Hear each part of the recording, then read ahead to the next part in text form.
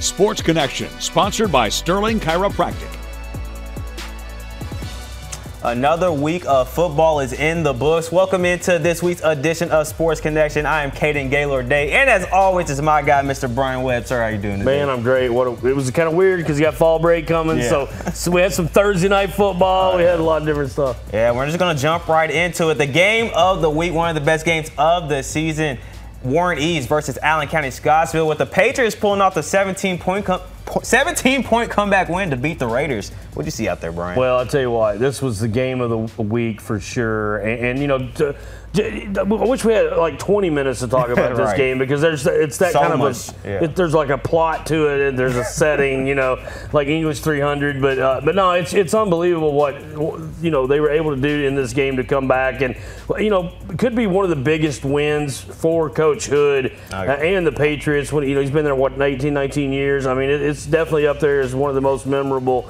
Uh, but you know there was some big chunk plays in this that, that kept them in it and uh, kept them fighting. But they went in at half. Uh, I can't remember what the score was at halftime. I think it's 16 to seven or something like that. Uh, and then you know basically Coffee caught a big old pass from Braylon Adams. Uh, and you know he was just hitting different receivers, man. And then you had Chase Ross with 84 yards. You had Braden Holland with 86, and and Braylon Adams had 229 yards. But Dane had 223 Yeah. yards passing. Uh, The Raiders, I mean, they look 72 sharp. rushing. They looked. They, it was it's just. just defense. You gotta get the It's just the defense game together. itself, man. And it was homecoming there. You, you know, you That mix that in. Uh, crazy, but Jackson McCool had a big night, man. It was just uh, Lightfoot had a big night. Yeah, it was a great, great win for the Patriots there. Up next, Franklin Simpson. They beat Glasgow 35 to 21.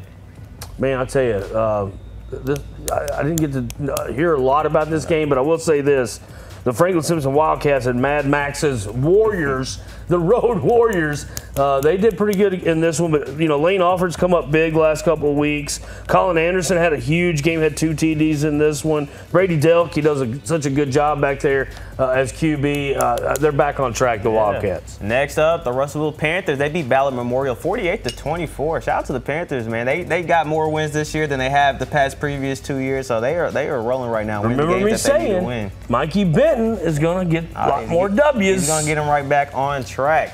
And then up next, Caverna. They got a big win, 60 to 12 against Fulton County. Woo! Man, that thing. The Twins. We the had them on. Martins. Yeah, the Martins, man. We The had them on a Martin couple weeks ago. They are big dudes, and they are running They are. over everybody. A huge win out there Yeah, for go. the Caverna Cardinals. Cardinals. And then look at our other scores around the week. We had a bunch of other games that were outside of Warren County and Woo. South Central Kentucky. Barren Trojans. County had their first, First loss, loss. of the season, 14 to 6 there. Uh, Greenwood shut out Ohio County 42 to 0. Storm and Norman Caden Schwarzkopf had something. yeah, and uh, Levi Wyatt had four touchdowns. in Yeah. Hart County 40 to 21 over That was a big County. one. Huge game there. Huge. Monroe County showing out this year. 29-0 win over Metcalfe County. Of course, Bowling Green 49-14 over Christian County and Warren Central.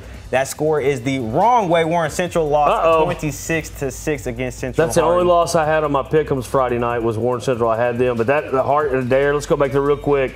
Brendan Griffin had 202 yards on the ground, man. 14 total tackles in this one, and uh, Cam Asbury is a beast, nine for 95. So uh, a lot of that was lot a big game, man. going into a fall break here. But speaking of fall, we got the BGKY boxing crew up in here as they talk about the BGKY Fall Championship. So don't go anywhere right here on Sports Connection.